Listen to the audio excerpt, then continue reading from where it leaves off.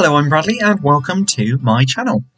Okay, so I've had a few days now to take in and really have a think of when or how I go about moving forward uh, from having a not so great haircut. So this clip is all about looking at the positives of a not so great haircut.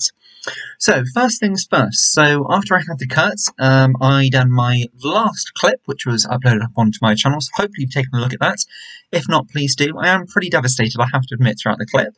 Um, I take a lot of pride in my hair, and it's not through being vain or wanting people to look at me and think, he looks good or he's good looking or anything like that at all. It's not that at all. It's just I feel my most confident when I've got a real nice, smart, sort of, I always say a smart and dapper hairstyle. Um, it gives me a lot of confidence. I have hearing aids, so I'm always quite conscious that my hair has to look good for me to feel confident with my hearing problems wearing hearing aids. Um, a whole host of sort of uh, things in the background because of that. But the main thing really is just because I really enjoy smart looking hair. So when I have a haircut, I really like it to look good. And because we came out of lockdown, and of course we haven't been able to have a haircut for months and months and months, um, I say months and months and months. How many months was it? About four, I think. Um, but it felt a lot longer, of course. So I really wanted to sort of smarten up the ends of my hair, um, keeping it ultra healthy because I was wanting to grow my hair out, which I still am. So thinking about the positive, so the back is still growing out. So that hasn't, I've just literally had that smartened up. Um, now, thinking back on where I went wrong, um, was possibly just to have held off on the appointment. I'm going through some health problems and things at the moment. I had to walk to my appointment, which is only a short walk, but because I'm having to use crutches for walking around at the moment, because of two uh, surgeries which have failed, hernia repairs, I've got some mesh in my groin and things at the moment, which is giving me a whole host of problems, um, and it's really difficult for me to put any weight on my right leg.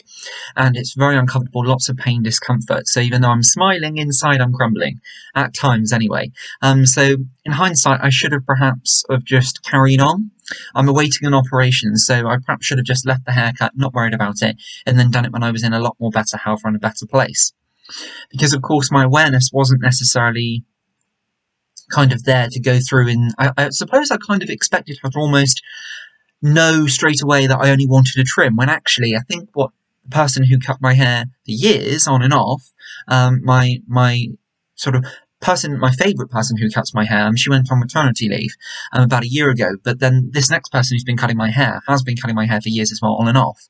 Um, but uh, I suppose kind of what she's seen is that my hair had got really, really long because it was down to here. Um, the, the, ends were quite thin because it had been cut into back in December. So what I wanted was to gradually cut that off. Um, so I think what she automatically done was, right, we'll get rid of that.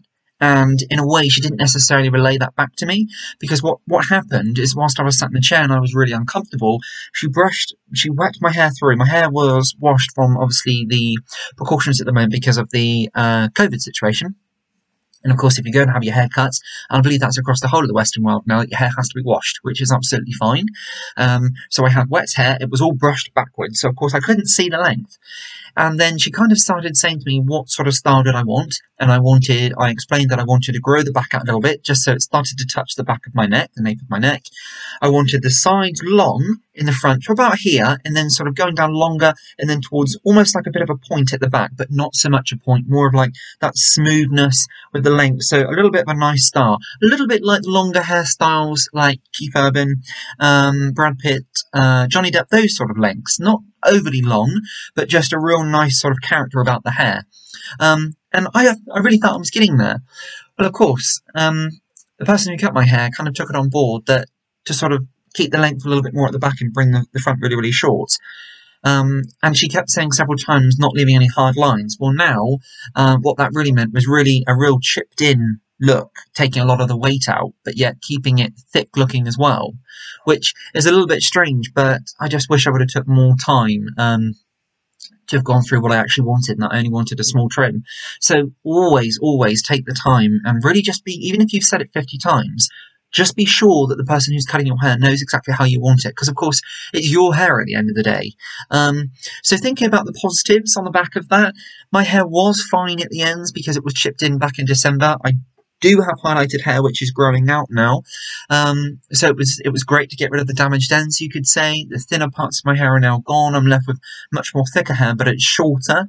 Um, my hair's fine anyway, so I have to be careful with the right cut because it can either look super, super thin or it can look very, very flat. So I use a lot of volumizing products, a lot of lift, and I use a blow dryer to sort of lift the hair up. So now what I've done is I've got the length. You can see the side sort of growing over, and it's growing over my ears now because that covers my hearing aids. I've got some of the length left, which is nice. Um, it's to about here, so perhaps a little bit longer than that. Um, and it was to here. So I've lost about that, which really was not my intention. It was only meant to be a very small amount off. In fact, in places, I've lost more than that. Um, I wasn't particularly happy with and this is really, really strange because I think as well, just go careful because I think throughout this sort of uh, phase where hairdressers, salons, barbers are opening, they are rushing a little bit. And I found that because um, rather than having any sort of conversation with a mask on, um, amazingly, the person who cuts my hair, because she ha- uh, she's has the awareness that I have hearing problems, she has a clear mask, which is great. But there was no element of conversation at all, and normally there is. Um, and it was just sort of like, hurry up, kind of get, I'll get this done. You could really feel that as well, which was really quite sad actually. Um, and, and what I was left with was, uh, unfortunately, quite a, a, rushed job in parts of my hair, and it almost looked like it was hacked. So what I've had to do is I've had to take my shears. So here's my hair cutting shears here. If anyone doesn't necessarily believe me, I do. I cut hair to an amateur level. So for example, I do sometimes cut my brother's hair.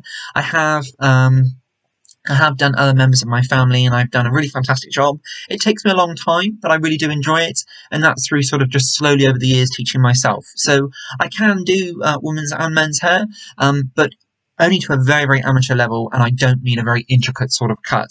I mean very often like one length cuts, perhaps um, sort of a few layers. That sounds really, really uh, quite advanced, doesn't it? But there are ways which you can do sort of simpler, softer layers around the face, that type of thing, which I've done before. Um, and on shorter hair, I find layers a little bit more easier to cut as well. Um, so I've done my nan's hair, I've done my mum's hair. Um, I've done my brother's partner's hair as well, um, which she was very pleased. My nan's always been very pleased, and so is my mum. My dad's hair I've done very often. My brother's hair, my oldest brother's hair I've done. My twin brother's hair. So lots. Um, and they've all been very, very happy. But of course mine, I've tried to do my own before, but trying to find that balance of holding the mirror. And if somebody helps me, of course you're doing it opposite. If someone's holding a mirror at the back and you're trying to cut, it's, um, it's back to front. So it's really, really difficult. I would love to cut my own hair because I have never really found too many people who have cut my hair the way I really, really loved it. Um, let's be honest as well, men's haircuts are not cheap like they used to. Growing up when I was a bit, um, and I'd say even in the last couple of years, the prices of things has certainly gone up. Um, for example, my haircut, which I paid, was I did, admittedly, I did buy a product, but it was thirty six pound.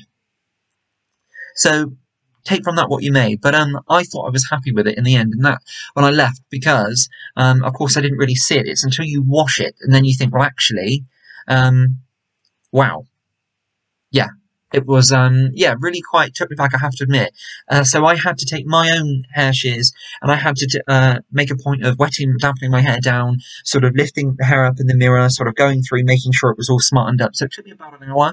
Um, and there was quite a bit which was out of place quite a bit which looked like it had been hacked by a child which was really quite sad to be honest with you because I've been going to this particular place for quite a long time.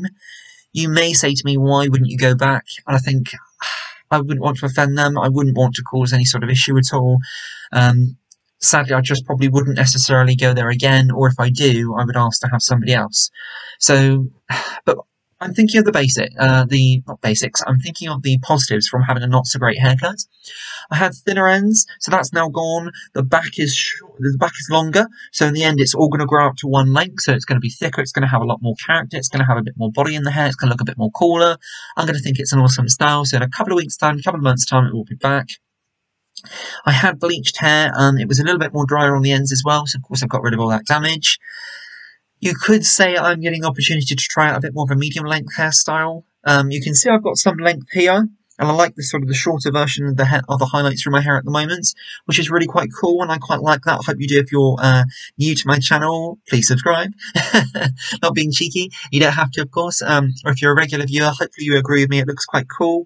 I've got everything sort of swooping over with some volume and things on top, and then the length I've got here to one side. Um, so yeah, and there's not too much I can do about it, but there are positives. As I say, we've got rid of the damaged hair, the fine ends at the end. Um, it's a much more of a uniformed, blunter cut rather than the sort of the chipped in version which I left the uh, hairdressers with, which I wasn't really particularly pleased. Because if you've got fine hair, there's one thing having sort of it uh, cut into a little bit, which if you don't necessarily know what that is, and forgive me if I'm sort of saying overly simple here, but if you imagine you've got a length of hair and it's all one length, cutting into the hair or thinning the hair out can help uh, fine hair appear thicker and stand up and give it more body and texture. But the main body of the hair stays at that length, but just inside you take some of the weight out. So some shorter hairs, maybe sort of this length, maybe a bit longer and a bit longer, and then you've got that full length. So it looks really, really cool. For me, it was just sort of hacked. So I had short bits, long bits, short bits, and it just didn't look cool. And very often, if I'm busy or if I've got a busy day at work, very often I like to straighten my hair off and then pull it off to one side with a bit of pomade or a bit of wax and lots of free spray. Couldn't do that when I done it because it was really chipped in. I had long bits all down here. So my hair shears, I really did have to sort of take a moment and um, I sort of used a comb, went all through my head and uh, all through my hair rather, and smartened it up myself. And actually, I was really pleased because I didn't actually need any help with that either, so that's fantastic. So really pleased on that. And as I say, there are benefits. No more damaged ends. The bleach is slowly growing out of my hair. Um, and of course, anybody knows that bleached hair does get dry, so there are some positives of that as well.